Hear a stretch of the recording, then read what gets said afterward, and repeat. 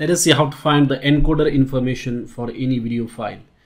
So you will need one software to extract the information from the video and that website is ffmpeg.org so just go there and download that software. Once you download and extract that soft once you download and extract that software you will find these files over there ffmpeg.exe ffplay and ffprobe.exe out of that this ffprobe.exe is the file that we are interested in.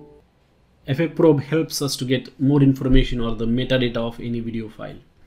Say for example you want to extract the information of this .mov file. So you can see I have given this path so all you have to do is that you have to use this ffprobe.exe and then give the path of the file for which you want to get the information and then just hit enter. And you can see that it has given this complete information about the encoder and just not the encoder but there is other information as well. For example you can see here it is written metadata. In the stream 0 the video section it is saying that handler name is apple video media handler and encoder is apple ProRes 4444xq so this is the encoder that was used to encode this particular move file and it has also given information about this audio track as well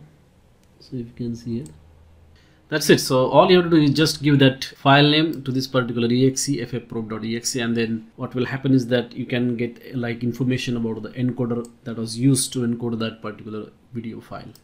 thanks for watching